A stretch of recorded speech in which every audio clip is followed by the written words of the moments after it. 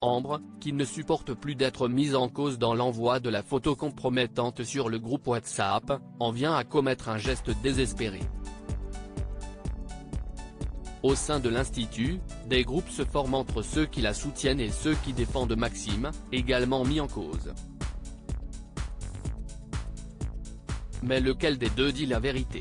Louis sur la sellette persuadé que Louis ne réussira pas son test face au chef de la région, Tessier se frotte les mains.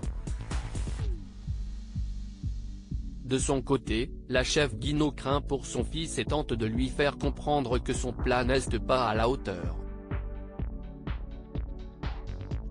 Surprenant une discussion entre Enzo et Lionel, Tom apprend l'existence d'une certaine Nina Vega et ses photos sexy. Il semblerait qu'un proche de l'Institut se cache sous ce mystérieux pseudonyme. Tandis que Jasmine refuse d'aller consulter le psy de Rose, Deva demande à changer de binôme. Tom doit collaborer avec Jasmine.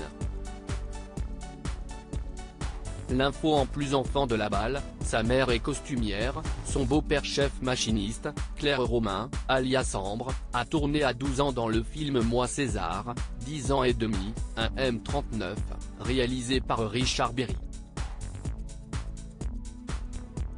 À 17 ans, elle est partie à Barcelone pour étudier le cinéma, derrière la caméra.